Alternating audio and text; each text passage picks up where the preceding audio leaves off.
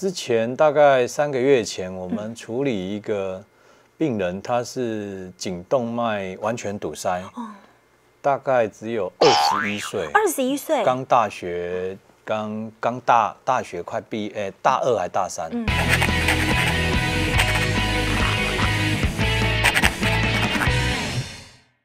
有人说脑中风算是一种无声的杀手，比癌症来的更加可怕。因为您知道吗？其实每一年死于这个心脑疾病的人数是比癌症的死亡人数还要来得多。每一年算算，大约都都会夺走大约五点四万条的人命哦。不过其实呢，现在。更可怕的是，还有年轻化的趋势。好，到底这个脑中风出现什么症状的时候，你就不应该有所警觉？还有，又应该如何预防脑中风的发生呢？今天节目当中，我们非常高兴邀请到的是林口长庚医院的脑中风中心主任张建宏张医师，要来跟大家来分享。我首先想要请教张医师的是，最近其实大家有看到。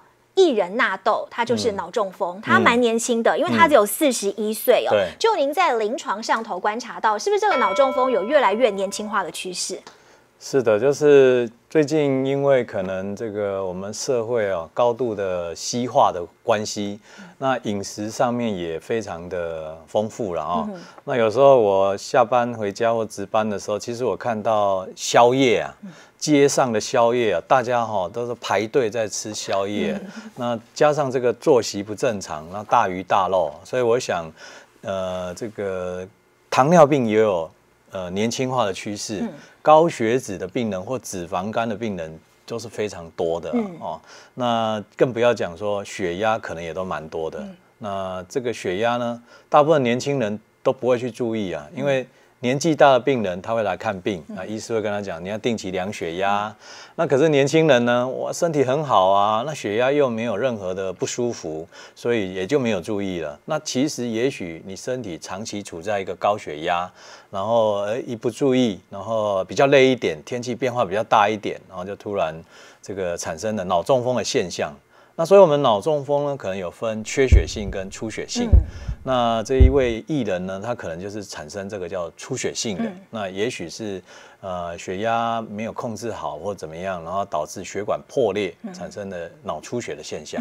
医生，你在临床上头目前遇到最年轻脑中风的患者大概是几岁？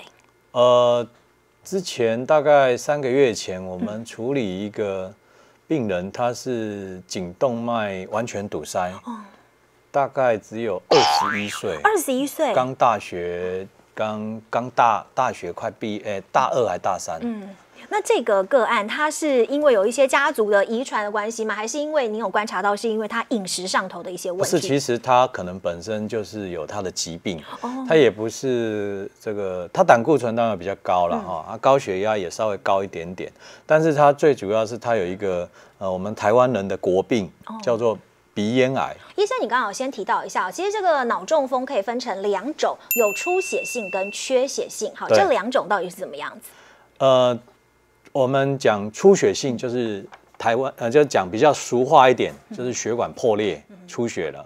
那缺血性就是血管堵塞住了啊，血管堵塞了造成了中风。那整个临床上来看呢，呃，台呃东方人。出血的比例大概是三成，缺血的血管塞住的比例大概是七成。那这是东方人特有的，那西方人没有那么高。西方人九成都是血管塞住，一成是血管破裂出血。哦，所以这个是民族上不太一样。但东方人的特色就是比较容易脑出血。哦，哎，那如果说是缺血性比较危险，还是出血性比较危险？呃，一般来讲，可能就是危险，就是看呃前几天还是过一段时间。那出血呢，一开始症状的时候会最快、最大、最呃最严重，因为它这个脑的这个体积呢，可能五十 CC 到八十 CC，那一点点出血呢，就是可能二三十 CC 就可能已经占了整个脑的三分之一啊。这个时候呢，这个压力很大的时候。瞬间破掉，那个时候对成脑细胞造成的伤害非常的大，所以它的症状特别重。那缺血呢？假如是大血管塞住，那它一开始不会那么重，因为它血管慢慢塞，一开始是呃血管塞掉，那比较远端的细胞慢慢死掉，然后到最后慢慢比较近端的血管的细胞大片死掉。当死掉越来越多的时候，这个整个脑坏死的体积呢，也角也是大于二分之一或三分之一。那这症状其实跟脑出血的症状很类似，肿块效应导致这个病人生命危急。哦，所以这个缺血跟出血的症状，你要看这个当时。一开始出血一定是比较严重，但是缺血，假如是比较大条的血管塞住，它有可能在五到七天，它也会变得非常严重。哦，所以这个可能没有办法很。呃，一般的来这样说，可能要根据病人的临床状况。嗯，医生，我想问一下，因为你刚刚有提到，其实现在大家蛮注意，就是有一些人很注意自己的血压，就觉得说，哎，我血压升高，我是不是快要脑中风了？那有很多那个家长常常会觉得说，哎，我骂完小孩，我现在血压突然飙高，我是不是快要脑中风了？但是其实判定这个有没有发生脑中风，是不是有一个比较简单的口诀 FAST，可以跟这个观众来分享一下？对，就是其实我们就是刚才主播讲到两件事情，第一个就是血压，其实血压的测量非常重要。那有很多病人呢，就是可能来医院一量血压一百八，不不一百五，第二次再量一百八，哦，他就认为他有高血压。但是实际上，呃，在工作压力比较大，或是上班的地方，或是医院，都会血压比较高。所以我们一般建议血压就是可能。清晨起来还没活动的时候就先量一次，然后晚上睡前休息半小时再量一次。那在一个比较安静的环境啊，舒服的状况下量这个脉搏这边的血压。那这些血压呢，你不需要去在意这个数字高还低，你就把它记录下来，拿去给医师看啊，医师就可以判断说，哎，你是不是高血压还是怎么样？不需要为了一两次哦血压。哦，超过标准值哦，就认定是高血压。那么目前呢，大概我们的定义上就是大致啦，就是很简单，因为讲太多什么高血压第一期、前期什么，那对民众来讲太复杂。对，可能就是只要了解一百四九十以上就有问题。那这个把这些记录拿去给。医师看，医师再根据状况来判断需不需要服用高血压，这是第一个。那高血压没有控制，的确比较容易产生中风的症状。那的确中风呢，我想这一个呃症状呢，其实非常的简单，大家只要知道一个口诀叫 FAST，我想这个大家都讲过了，非常多了哈。FAST 就是第一个就是嘴巴有一点歪斜，然后。A 就是 on，就是手有一边比较没力气啊，因为中风是单边的症状，所以它不会全身没力气，它大部分都是单边哈，左边没力气或右边没力气，单一边的症状哦，手跟脚这个比较像中风。那 S 就是讲话讲不清楚啊，大舌头。那 T 就是尽快送医哈，因为有这个黄金三小时的关系啊，所以从这个大家都很清楚的这个 FAST，我想经过脑中风学会还有各的医生在各个大媒体都有讲过这个，但是其实还有一些很很特殊的症状，我觉得其实对于这个病人的胃教也非常重要。有哪些？比如说有人说头晕嘛，或是我突然视力眼前模糊有一片黑，这样子是不是也可能是相关的一些症状？嗯。FAST 是最简单的一个判断，但实际上有很多警讯呢。我觉得做一个脑中风的医师，有需要跟民众卫教，因为就像刚才主播一开始讲的，我们中风呢，这个大部分的死亡率不是那么的高，我们已经从全国十大死因的第二名掉到第四名。但是呢，中风最恐怖的是会留下残障的状况。嗯，这个残障不止个人的不方便，整个家庭可能都赔上去了。你卧床，你的小孩可能辛辛苦苦赚的钱要去付看护费来照顾这个病人。所以实际上，这个中风是非常危险的，呃，非常重要的治疗了哈。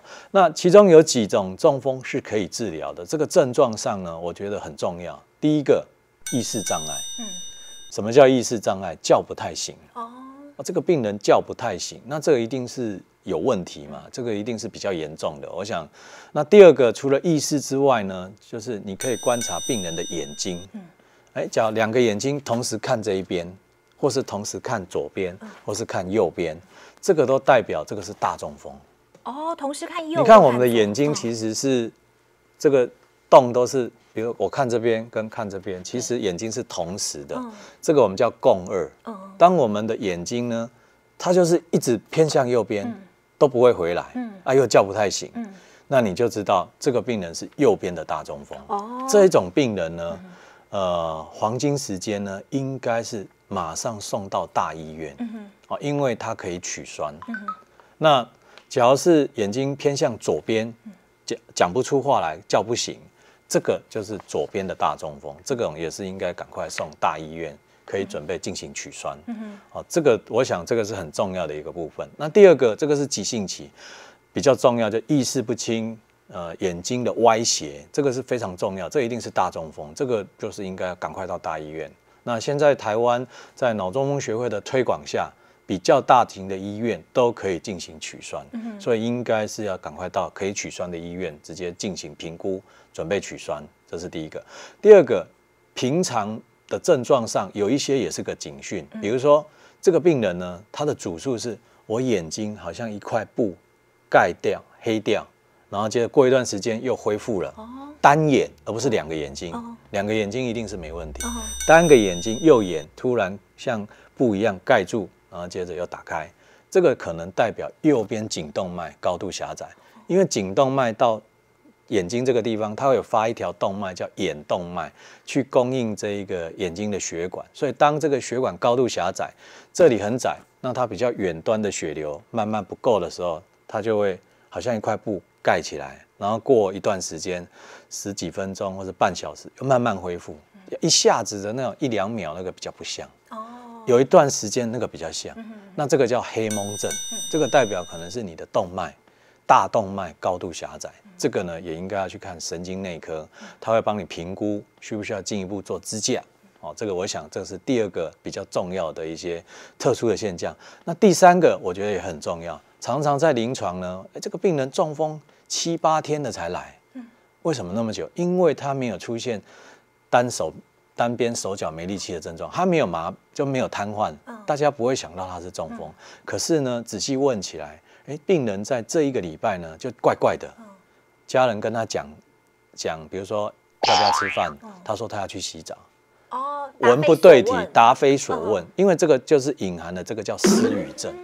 失语症的意思就是大脑左边的大脑比较高级的功能哦，它就是这个我们讲话给你听，你要先听得懂，然后接着表达出来。那听得懂这个叫感觉性失语。啊，听不懂这个叫感觉性失语，讲不出来这个叫做运动性失语。所以呢，当病人觉得怪怪，哎，他怎么本来是一个很精明的人啊，搞得乱七八糟，然后讲话文不对题，这个可能就是也是大动脉。高度狭窄，嗯，也应该是赶快去医院，或是呢，这个病人呢走路一直偏向一边，手脚很有力气，开车也一直偏向一边，那这个也是，这可能就是右边的大脑的问题。所以大概有这三个症状，我觉得应该借由这个节目，大家应该呃清楚的去认知，那这种应该都要紧急去医院，这种应该都是很大。未来会是很大的中风。医生，我想问一下，好像还有判定另外一个中风的指标是所谓的肌少症哦。什么叫做肌少症？为什么这个肌少症会跟脑中风有关系？第一个哈，我们刚才讲心脏中风的很多原因哈，有中风有主要有分成四大原因。第一个就是呃这个大血管啊，颈动脉啊，颅内动脉高度狭窄。另外一个叫小动脉。小动脉的中风就是大动脉的穿通动脉去塞住了，那这个是小动脉的中风。那第三个有一个很大因素就是血栓性中风，血栓性中风里面大概有呃六成是来自心脏，我们刚才讲这个心房颤动产生的大中风。那另外呢，还有我们常常呃这个中国人啊，常常会讲说脚啊。是身体的第二颗心脏。嗯，为什么呢？我们的心脏把血打出去到脚以后，它要慢慢的回流回来到心脏，造成一个这样的循环。那我们的心脏很有力，这样一直打是没有问题。可是因为这个我们现代人运动非常少哦，所以脚呢长期就是呃不动。这个时候呢，我们脚的这个静脉里面呢就容易产生血栓。那这个血栓呢再打回心脏，再打出去。就是一样是产生非常大的中风，那这个是现代人是这个样子，那老年人呢更严重。老年人呢的生活就是你观察家家中的爸爸妈妈、阿公阿妈，他们的生活形态就只有三种：坐着看电视，给电视看，然后接着睡觉，哦，他们只有做这三件事情，整天都没有在动，所以实际上他们很容易发生这个叫肌少症。这个国建局呢也越来越推行这个东西，就是肌少症，就是病人太瘦了，几乎没有肌肉，那表示他几乎没有在运动。那这一群病人呢，当血液循环不好的状况，所以你看有时候电视广告有一个阿公被他孙子压到脚，他都没感觉哦。所以实际上这个肌少症也是非常重要的一个议题，不止容易造成这个失智、中风、跌倒、骨折。非常多的问题啊，所以这个也是非常重要的一个问题。怎么样判定自己有没有肌少症？呃，我们可以简单的就是用手呢，哦，我一下自己这个这个小腿肚。哦，小腿肚。哦，像我这个应该没有肌少，是肌多症。肌多。这全部都是肉的。医生就是说，呃，第一个先用那个手指围手指围成一个圈，然后绕住你的这个小腿肚。绕。啊，假如你的小腿肚呢，就是。呃，像我是绕不起来，那这个就是没有问题，没有问题。啊，假如绕的刚刚好，那这个就是警讯了，你可能快要肌少症了，很小，那你肌少症已经很严重了。哦，所以当你有一些警讯的时候，你可能要加强一些运动。因为肌少症就是要补充蛋白质、运动、晒太阳。啊，这样的话让肌肉不要一直萎缩掉。所以意思是小腿也不能太细啦。哎，对，就是假如说女生那种演艺人员那种，呃，脚阿卡，对对对，那可能都有。阿公阿妈在看电视的时候，我们就教他这样抬起来。要抬很高吗？你差不多，你能抬多高就抬多高嘛，啊。撑好，撑个大概一两分钟哦，让这个脚有一点点肌力。其实这蛮累的哦，你不要看这 样，对你不要以为这很简单的动作，你能撑个一两分钟，其实非常累。嗯，然后撑一下之后再放下来，那可能可以看电视的时候做个四个循环。哦。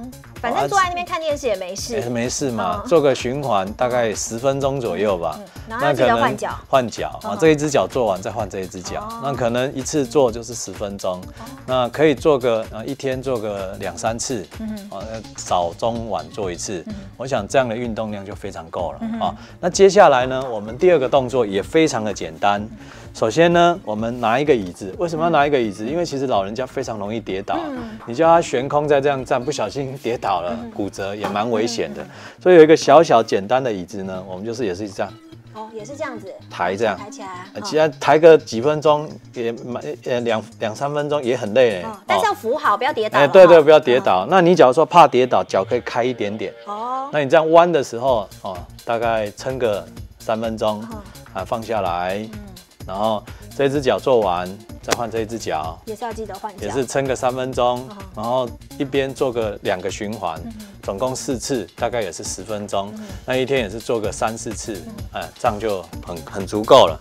那最后一个呢是比较大一点点的负荷啊，啊，我们年轻人都会教我们深蹲，对，但是深蹲呢可能对老人家不是那么适合。那这个时候呢，我们可以请老人家趴，呃，就趴在墙壁上。哦，一定要找一面墙。比如说这个是一面墙壁，那我们就是让他靠在墙壁上，两脚打开。那我们这样慢慢的靠在墙壁上。哦。那这样有一点蹲蹲到之后，比如这个这个腰呢直的，后面是墙壁。嗯。然后我们大概稍微蹲一下，蹲到他可以适合的这个身，这个负荷，然后也是蹲个，比如说啊两三分钟，那慢慢起来。这个也很酸，也很酸。其实主要都是增加他们下半身下半身的肌力。张医生好像有帮我们整理一个表格，就是要告诉大家所谓的脑中风的红色警戒。如果你出现这个表格当中，其中只要有三项，你就要特别注意，要赶快尽早就医，对不对？是是是，我觉得这些呢，大家都非常知道了哈，就是包括血压的高血压。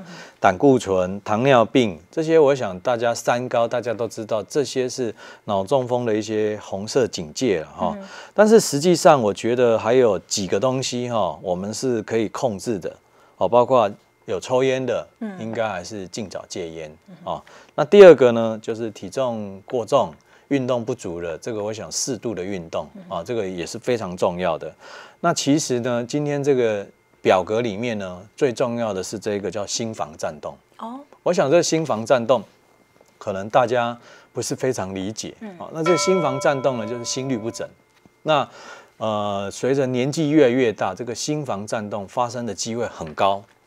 那心房颤动一产生的中风呢，就是一个大中风。它就是一个心跳忽快忽慢。那它比较慢的时候，血流就比较慢；它比较快的时候，血流比较快。那这样的话，血流不顺的状况下，在心脏里面，它就会凝固成一个血块。哦。那心跳突然很快的时候，它把它打出去了。塞到哪里就产生比较大片的中风，所以这个心房颤动呢，在年纪大的长者呢是非常重要。所以有时候呢，我们回家看看爸爸妈妈的时候，不是只有跟他聊聊天，嗯，有时候手摸摸他的脉搏啊，有一点给他，大家有一些感，呃，就是大家会拥抱嘛，啊，所以实际上我们 应该是给爸爸妈妈，呃，一点点，就是呃，很久没牵他们的手，这个过程中其实可以摸摸他的脉搏。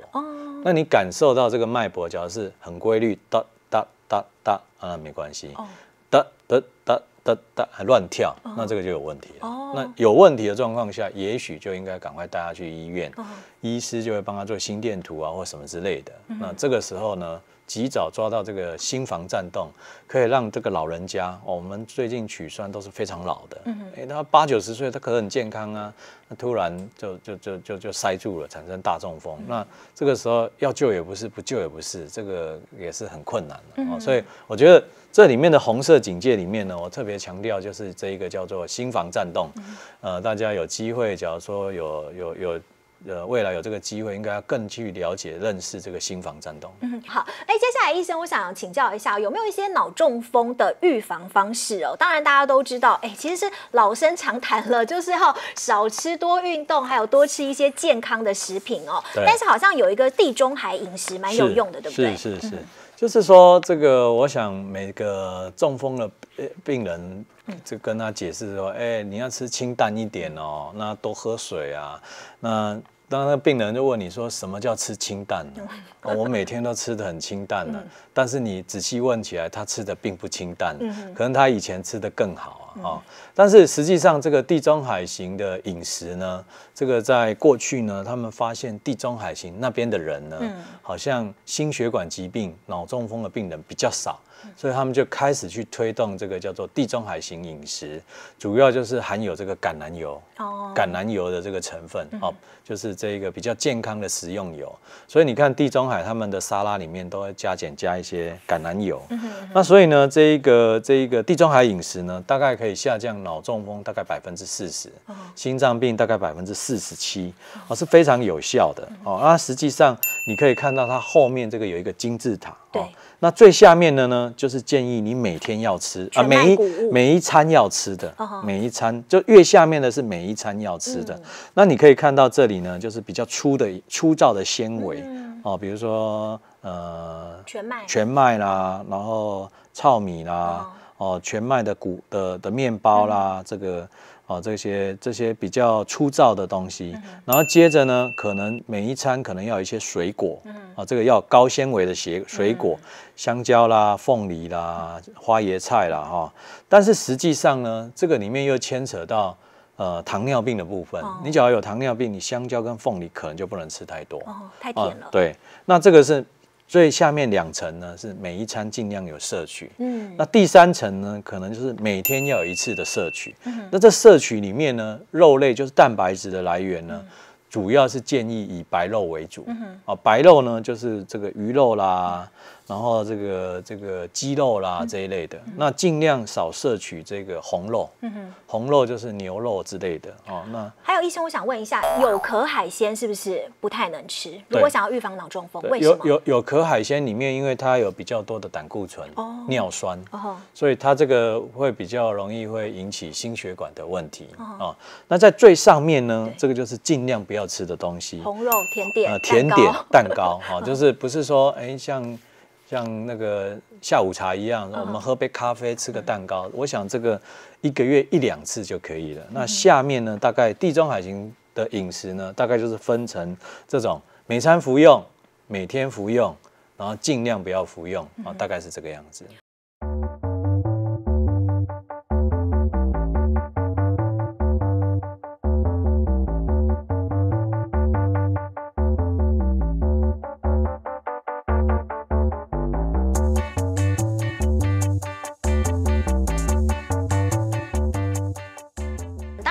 都知道这个身体健康很重要防疫工作也很重要。接下来我们先来看一段工商服务。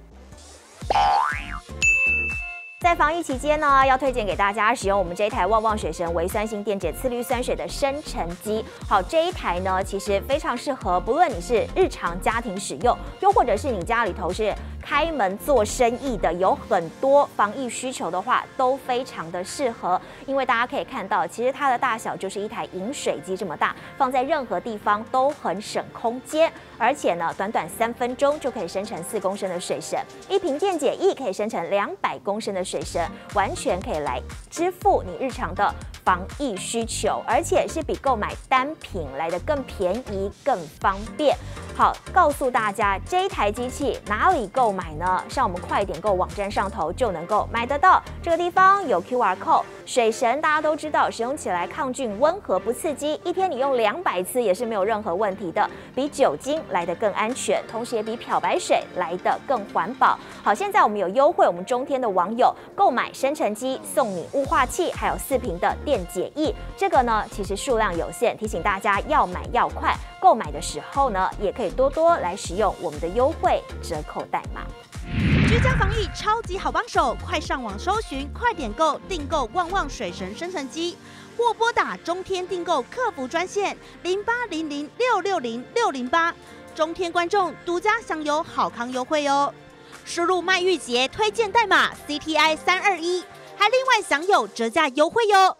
好，谢谢您看完我们中天的工商服务时间哦。如果您对这个产品有兴趣的话，欢迎各位可以到我们中天快点购网站上头来购买。当然，其实中天快点购就是中天严选，我用心推荐，你就能够聪明消费。今天非常谢谢医生哦，来到现场跟我们分享有关很多脑中风预防的这个知识，还有一些小 paper。是。当然，如果各位网友对于我们这个影片有任何的意见，或者是说你有任何身体健康上想要知道的知识，欢迎大家可以在影片下方留言告诉我。